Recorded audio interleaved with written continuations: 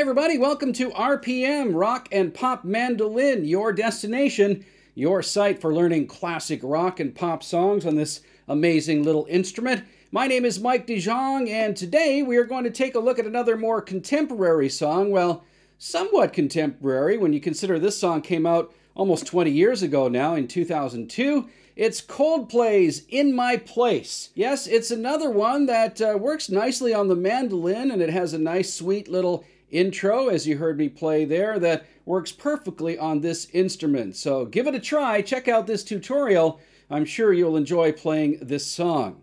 But first, uh, let's talk about a little business on this site. Thanks very much for all of your support over the last few months. I really appreciate it. And, uh, you know, if you're new here, uh, welcome to the site. I hope you're enjoying it. And please uh, hit that subscriber button, that little red tab down there on the lower right corner of your screen. Please hit that before you leave.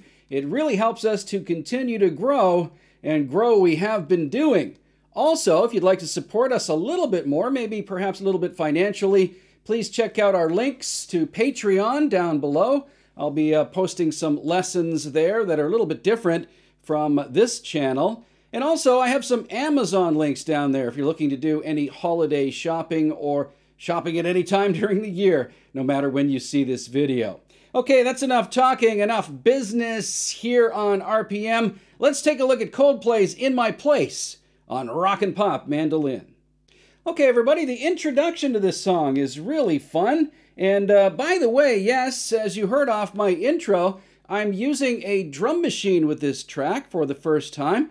Actually, it's a metronome, a metronome program that I downloaded for free onto my iPhone, but it also has some cool little drum tracks on there that you can use. They're basic, they're not programmable or anything, so I can't put any fills in, but they, they work really nicely for songs like this where there are some gaps.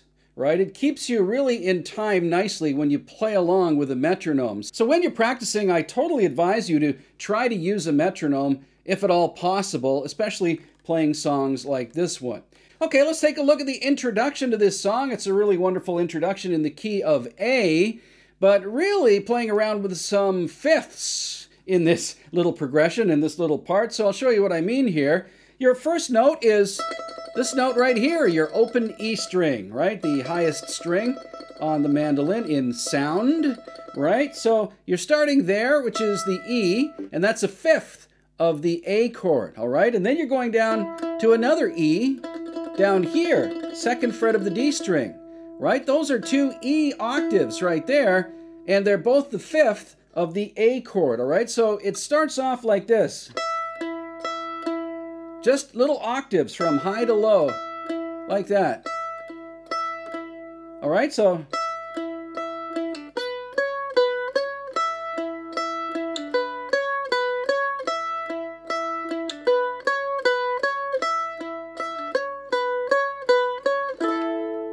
Okay, so that's really cool. That's a, that's a cool little lick. And again, you're starting with those octaves. Then you go up to the A string and you do this little pattern.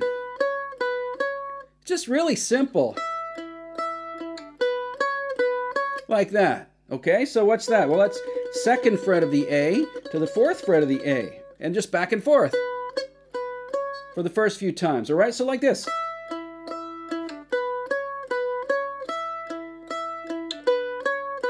So that goes three times. They do that little pattern. And then the final part of it, there's a little there's a little slide. So you can either slide it from the second fret or just slide it from the third fret. I think the second fret is better. Doesn't sound so that sounds a little more sort of bluegrassy there. And this is not a bluegrass song, obviously. So you probably want to you probably want to slide it from the second fret, which is a B note, to a C sharp note here. So and then you just hit this top part, or highest sounding part, of an A chord, right? Don't worry about the note down here on the G string. Just hit it from, from there, right? So that second fret again of the D, open A, and open E once again, right? So one more time, that opening lick.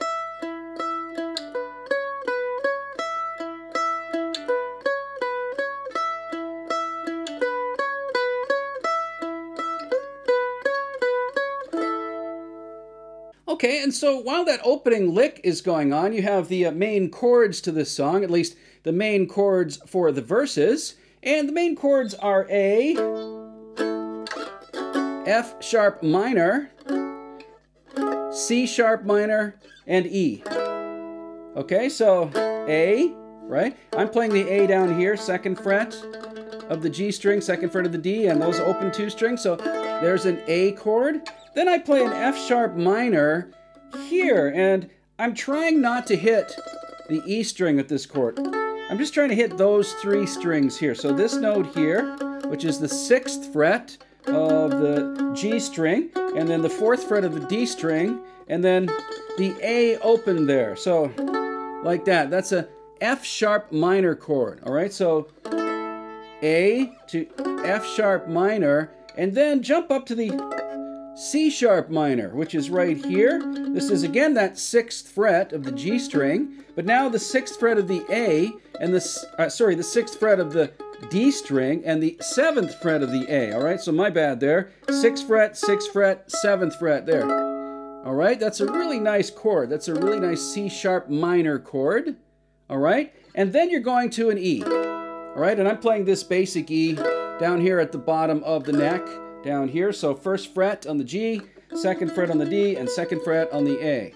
So one more time, those chords for the verses are A, F sharp minor, C sharp minor, and E.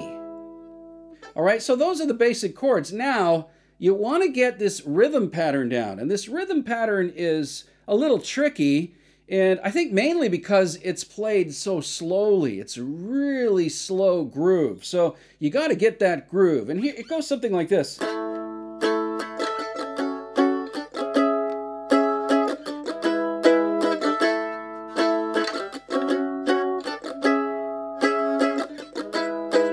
Okay, so I'm playing the A for a couple of beats there. And then I'm kind of doing a little bit of a, just kind of a muffled string rake here, right? You're just going, and you come down on the, that part of the F sharp chord, the F sharp minor chord. So, like that. So, and then you kind of do, I do a little, another little sort of ghost note rake thing on the strings. And here you're just not holding down any strings. You're just putting your, your, your fingers against the strings to deaden them. So you get that sort of a rhythmic thing. So you're doing it like this.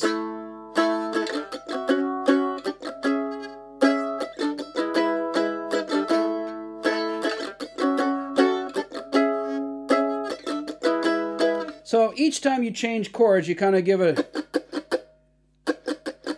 that sort of thing. Right? So one.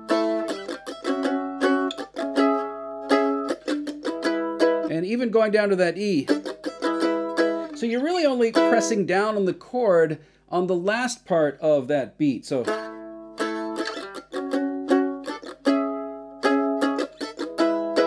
Like that. All right, so those are the main chords for the song in the verses and the intro part where you're doing that that little part. Those are the chords that go underneath that. Now let's take a look at uh, really the only other part you have to worry about in the song, and it's kind of like a, a chorus part, I guess.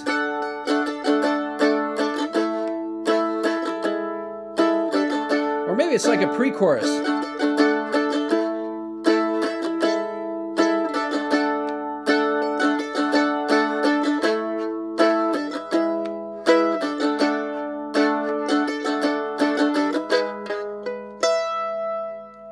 Right, so what are those chords there? Well, that's a D.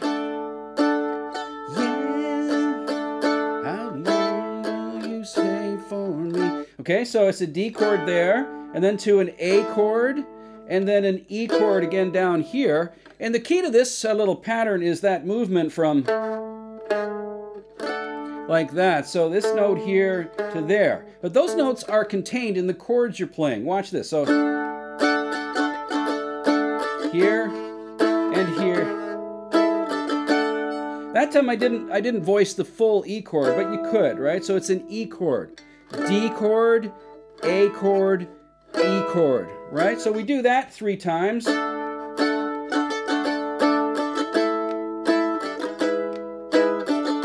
then the final one, they go back straight from the D to the E.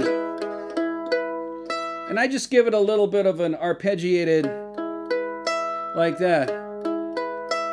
Little bit different than what's done on the guitar, but, but kind of similar. He does the same thing. He arpeggiates an E chord on the guitar. I'm just choosing different notes from that chord, but they, they work the same. So one more time, that pre-chorus or whatever it is.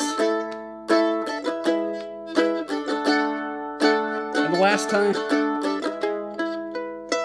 And then you're back into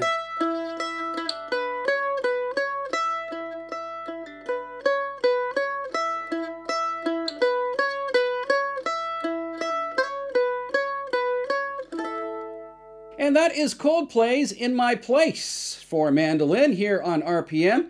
Actually, not a very difficult song, and you should have a lot of fun playing that one. It's a really fun little lick to play on the mandolin. Thanks very much for tuning into this tutorial on Coldplay's tune here on uh, RPM. My name is Mike DeJong, and you know, check out some of the other tutorials that I have here. I have songs right from the 60s up until uh, the noughties, as I call them, like this song from 2002. I hope you enjoy all the lessons here on the website and please subscribe if you are new to this channel. Also, check out our Patreon links down below and the links to our Amazon uh, products as well. Some products that I make a, a small commission from if you click on those Amazon links. My name is Mike DeJong. Thanks again for tuning in to RPM.